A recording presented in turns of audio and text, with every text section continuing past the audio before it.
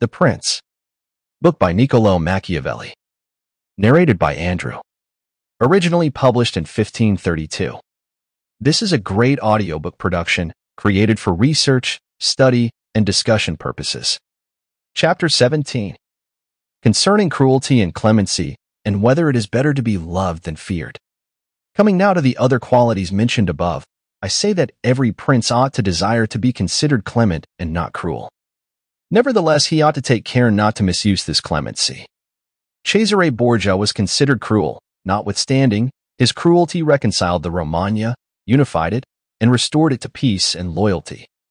And if this be rightly considered, he will be seen to have been much more merciful than the Florentine people, who, to avoid a reputation for cruelty, permitted Pistoia to be destroyed.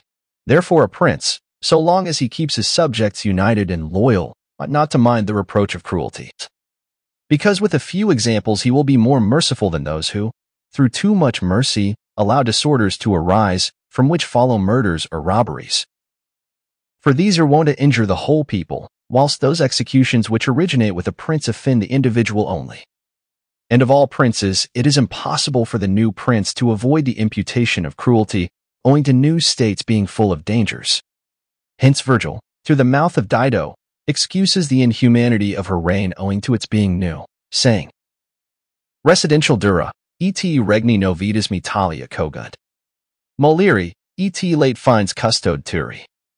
Nevertheless, he ought to be slow to believe and to act, nor should he himself show fear, but proceed in a temperate manner with prudence and humanity.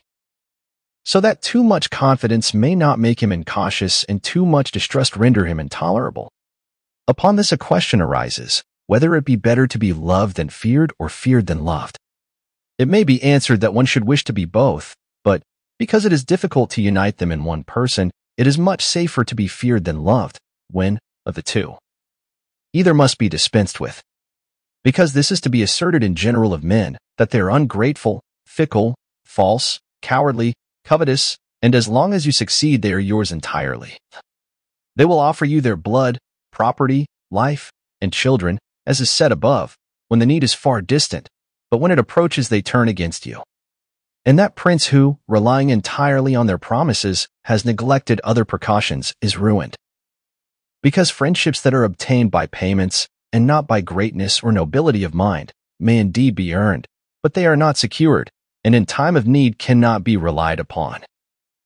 And men have less scruple in offending one who is beloved than one who is feared, for love is preserved by the link of obligation which, owing to the baseness of men, is broken at every opportunity for their advantage, but fear preserves you by a dread of punishment which never fails.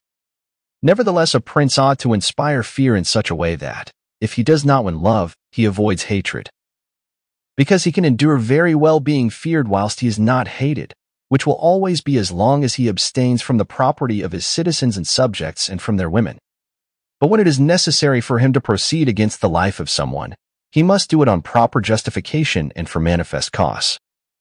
But above all things, he must keep his hands off the property of others, because men more quickly forget the death of their father than the loss of their patrimony. Besides, pretexts for taking away the property are never wanting, for he who has once begun to live by robbery will always find pretexts for seizing what belongs to others. But reasons for taking life, on the contrary, are more difficult to find and sooner lapse. But when a prince is with his army and has under control a multitude of soldiers, then it is quite necessary for him to disregard the reputation of cruelty. For without it he would never hold his army united or disposed to its duties. Among the wonderful deeds of Hannibal this one is enumerated.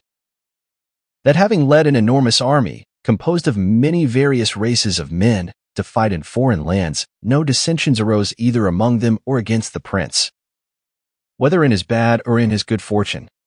This arose from nothing else than his inhuman cruelty, which, with his boundless valor, made him revered and terrible in the sight of his soldiers, but without that cruelty. His other virtues were not sufficient to produce this effect. And short-sighted writers admire his deeds from one point of view and from another condemn the principal cause of them. That it is true his other virtues would not have been sufficient for him may be proved by the case of Scipio, that most excellent man, not only of his own times but within the memory of man. Against whom, nevertheless, his army rebelled in Spain, This arose from nothing but his too great forbearance, which gave his soldiers more license than is consistent with military discipline. For this he was upbraided in the Senate by Fabius Maximus, and called the corrupter of the Roman soldiery. The Locrians were laid waste by a legate of Scipio, yet they were not avenged by him, nor was the insolence of the legate punished, owing entirely to his easy nature.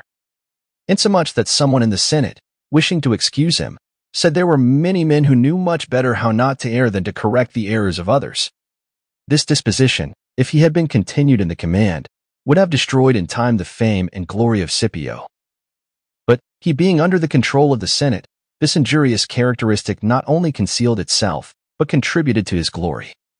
Returning to the question of being feared or loved, I come to the conclusion that men loving according to their own will and fearing according to that of the prince. A wise prince should establish himself on that which is in his own control and not in that of others. He must endeavor only to avoid hatred, as is noted. For more audiobook like this, hit the subscribe button and click on the notification bell so you get notified when we post a new audiobook. Thanks for listening.